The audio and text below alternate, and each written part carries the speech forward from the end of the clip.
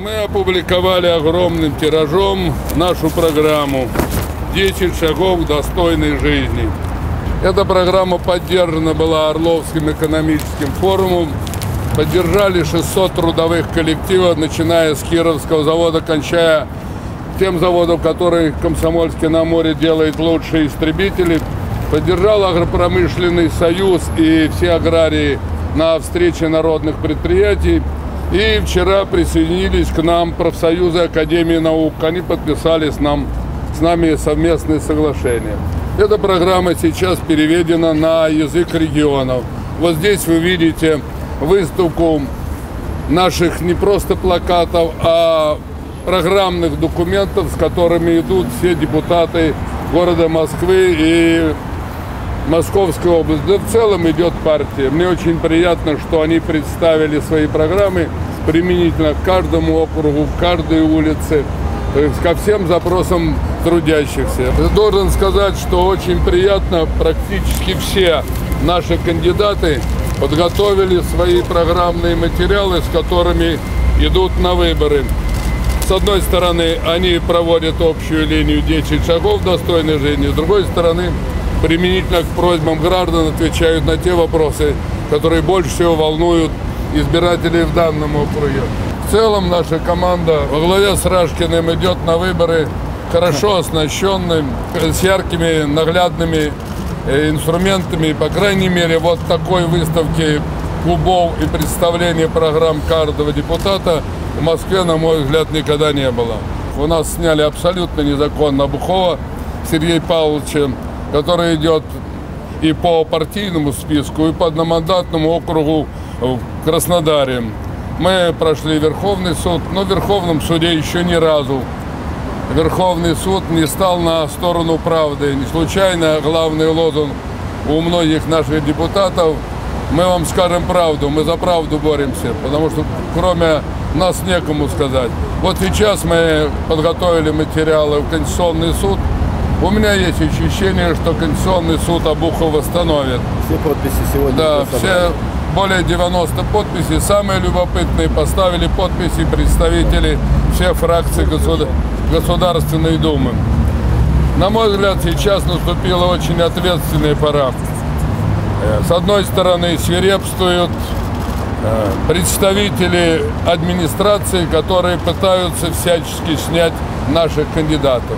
С другой стороны, появились фальшивые коммунисты типа Сурайкина, у которых ни структур, ни программы.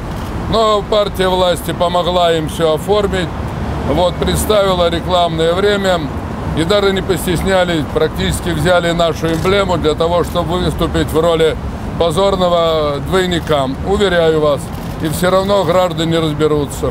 Двенадцатый номер сам по себе и не просто знаковый. 12 число и 12 апостолов и 12 часов дня и ночи – это отчет любого крупного события. 12 нам поможет в это нелегкое время. И как бы там ни крутились, тем не менее, многие проголосуют за нашу программу и нашу команду.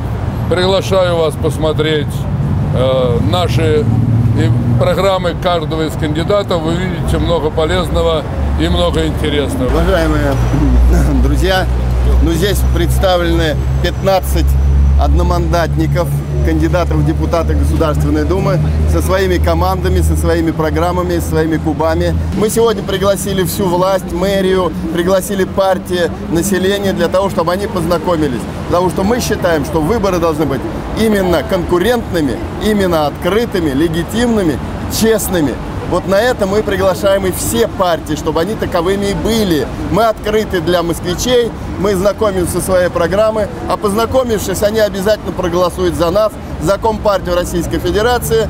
12 это еще и Новый год. 12 это еще и бой курантов. 12 это еще и шампанское. 12 это новая жизнь в новое время, в Новый год. Сегодняшняя акция, она как раз таки является итогом тому, что в Москве мы практически нигде не, не имеем возможности получить равные условия для агитации. Нас нет э, в газетах московских, нас нет на рекламных стендах, и поэтому мы сегодня, как и предыдущий период, и до дня голосования, будем выходить на улицу, открыто разговаривать с людьми, приглашаем всех наших оппонентов нормальным дебатом на улице, когда присутствуют избиратели, могут задавать вопросы. Поэтому сегодня это та форма, которая максимально приближена к людям. И я думаю, что сегодня власти именно поэтому и не хотят, чтобы коммунисты присутствовали в активном электоральном поле, лишь потому, что мы имеем большую поддержку, мы имеем фракцию в Мосгордуме, которая впервые победила за долгие годы в одномандатных округах, и мы намерены у увеличить результат по одномандатным кругам и в Госдуму, и также получить хороший результат по спискам. Прямо вам скажу, партия власти не желает встречаться с избирателями. Или телеэфир, или те, кто работает у них по найму, откровенно говоря, бюджетники и подневольные. Вообще говоря, это не выборная кампания. Выборная кампания – это реальный диалог. Мы предлагали партии власти обсудить всех базовые проблемы – они решили нормальные дебаты утопить вот многопартийности. Когда выходит 6 человек и говорят, вам 30 секунд, представьте свою концепцию. Вам 4 минуты или 2 минуты, расскажите, что вы будете делать с национальной безопасностью. Мягко говоря, это издевательство над нормальными дебатами. Предлагали партии власти, если есть программа у кого, давайте вместе. Но ну, а кроме нас никто не вышел на выборы с развернутой программой. Мы подготовили программы по всем базовым вопросам. Промышленность, аграрный комплекс, народные предприятия, образование, наука. Пожалуйста, мы сегодня приглашаем вас на полноценные дебаты. И уверяю вас, как только граждане познакомятся с этим, они скажут, за, за команду КПРФ, команду патриотических сил, есть смысл голосовать чтобы не дожить до Киевского, а точнее Московского Майдана, надо минимум иметь 226 депутатов, способных слышать людей, отвечать на их просьбы и отвечать на вызовы времени. Поэтому приглашаем вас ознакомиться с нашим программным продуктом, приглашаем познакомиться с нашими депутатами, и вы увидите, это образованные, грамотные, современные люди, способные проводить современную эффективную политику.